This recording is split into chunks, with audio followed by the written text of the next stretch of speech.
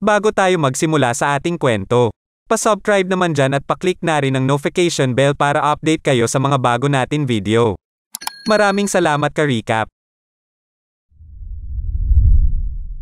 Nagsisimula ang pelikula sa pagtipon-tipon ng ilang miyembro ng SWAT team matapos ang isang misyon. Ang team ay binubuo ni na James, Cliff, Sam, at Walter. Kasama nila ang kanilang mga asawa at mga kaibigan na babae. Isa sa mga babae ay si Stacy, isang kilalang mamamahayag at matagal ng kaibigan ni James. Nakipag-usap si James kay Stacy ng sandali, at pagkatapos ay nakatanggap ng tawag sa telepono ang kanyang nakatatandang kapatid na si Walter. Mukhang nag-aalala si Walter at mabilis na pumasok sa bahay kasama ang telepono. Sinundan siya ni James, na curious kung ano ang nangyayari. Sinabi ni Walter na maayos ang lahat at kaya niya itong asikasuhin. Pagkatapos, umuwi na siya kasama ang kanyang asawa. Sa gabi, nagpapahinga si James nang tumunog ang kanyang telepono. Tumawag ang asawa ni Walter at sinabi na patay na si Walter. Nagmamadaling pumunta si James sa bahay ni Walter at natagpuan niyang pinatay si Walter, may hiwa sa kanyang leeg. Pag uwi ni James, nakatanggap siya ng tawag mula kay Cliff na nasa panganib at humihingi ng tulong. Nagmamadali siyang pumunta sa apartment ni Cliff ngunit huli na ang kanyang pagdating. Cliff ay napatay rin na may katulad na sugat. Sinuri ni James ang telepono ni Cliff at nakakita ng mensahe mula sa isang tao na nagngangalang Bill O'Brien. Pagpasok niya sa isang silid, siya ay inatake. Sa kabutihang palad, lumaban si James at natalo ang umaatake. Inusisa niya ang lalaki upang malaman kung sino siya at sino ang kanyang pinaglilingkuran, ngunit tumanggi itong magsalita.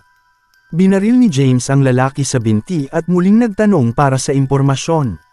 Ngunit minura lamang siya ng lalaki. Binaril na lang ni James ang lalaki hanggang sa mamatay, alam niyang wala siyang makukuhang sagot mula rito. Pumunta si James upang kausapin ang kanyang matalik na kaibigan na si Lieutenant Ross, na siya ring boss ni na Walter at Cliff noong panahon ng digmaan sa Afghanistan.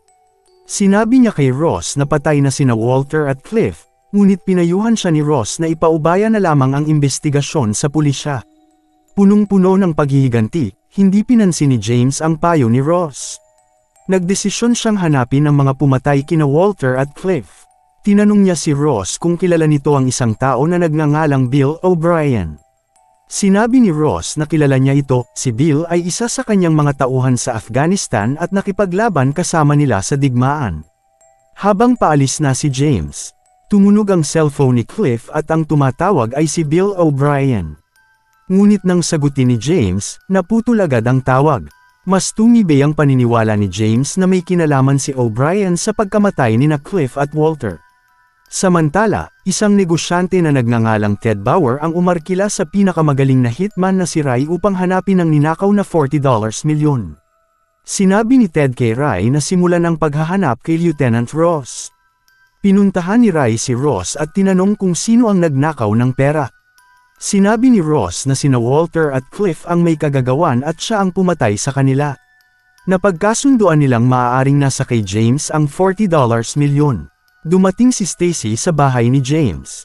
Di nagtagal, may kumatok na dalawang tao sa pinto. Nagpakilala silang mga opisyal na nagche-check ng gas sa bawat bahay. Pinapasok sila ni James, ngunit nalaman niyang mga sundalo pala sila.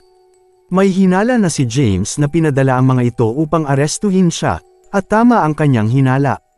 Sa tulong ni Stacy, natalo nila ang dalawang sundalo. Kinuha ni James ang mga ID cards ng mga sundalo mula sa kanilang mga katawan. Nabalitaan ni Ross na napatay ni James ang dalawang tauhan na ipinadala niya.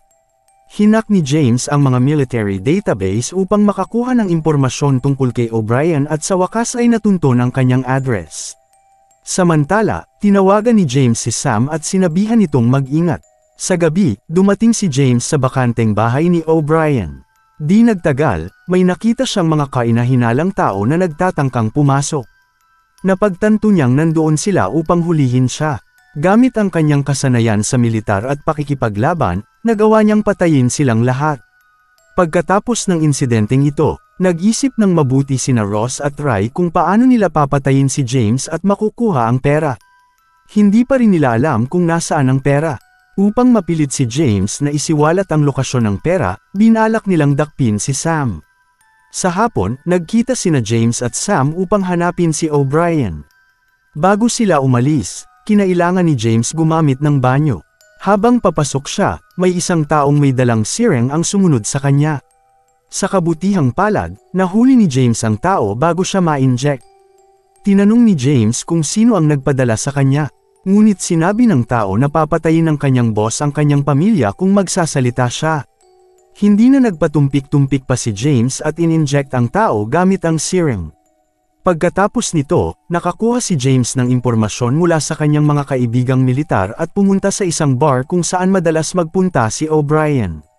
Naroon si O'Brien at nang magtanong si James tungkol sa kanya, sinabi ng ilang tao sa bar na umalis siya. Umalis si James, ngunit hindi bago makipaglaban sa ilan sa kanila. Pagkatapos, sumakay si O'Brien sa kanyang sasakyan, ngunit naghihintay na si James sa loob, nakatutok ang baril sa ulo ni O'Brien. Tinanong ni James tungkol sa kanyang koneksyon kina Cliff at Walter. Sinabi ni O'Brien na kaibigan niya sila. Ipinaliwanag ni O'Brien na habang nasa Afghanistan, Inimbitahan siya ni Lieutenant Ross na sumali sa isang ilegal na operasyon upang magpuslit ng droga mula Afghanistan papunta sa Amerika sa pamamagitan ng pagtagong ng mga ito sa mga katawan ng mga patay na sundalo. Pinilit sina Cliff at Walter na sumali sa operasyong ito. Gusto nilang huminto, ngunit hindi sila pinayagan ni Ross dahil masyado na silang nasangkot. Nagpatuloy sila sa ilegal na gawain hanggang isang araw, Ninakaw nila lahat ng pera mula sa operasyon upang gamitin bilang ebidensya ng krimen. Pagkarinig nito, hiniling ni James kay O'Brien na dalhin siya sa lugar kung saan isinasagawa ang mga operasyon.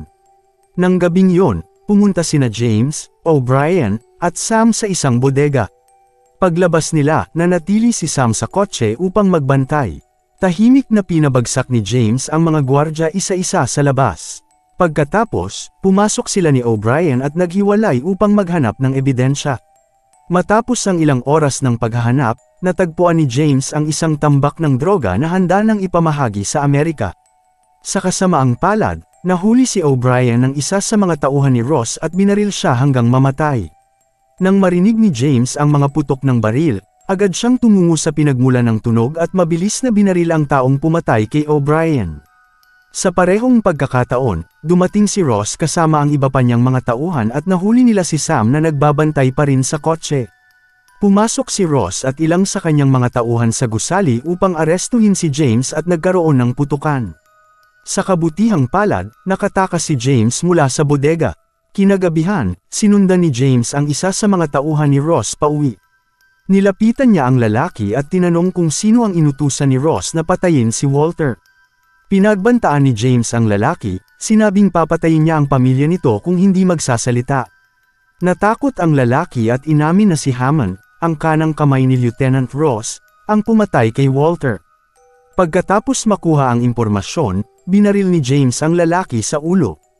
Kinabukasan, tinawagan siya ni Ross at inalok ng palitan, si Sam kapalit ng ninakaw na pera.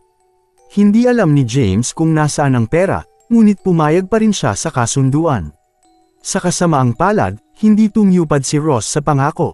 Sa gitna ng palitan, pinatay ng kanyang mga tauhan si Sam bago pa makapag-react si James. Binaril din nila si James at dinala siya sa isang lugar upang pahirapan. Ang taong nagpapahirap sa kanya ay nagpakilalang si Hammond. Ang pumatay kay Walter. Nakita rin ni James si Ray, isang kakilala mula sa kanyang panahon sa Special Forces. Hindi niya inaasahan na magiging hitman si Ray. Tinanong ni Rai si James kung nasaan ang ninakaw na pera, ngunit hindi pa rin nagsasalita si James. Kaya't ipinakita ng mga tauhan ni Ross kay James ang asawa ni Walter na kanilang bihag, dahilan upang magpanik si James.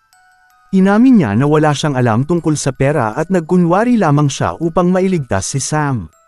Ilang sandali pa, dumating si Ross sa gusali at nagmamadali ang kanyang mga tauhan upang salubungin siya.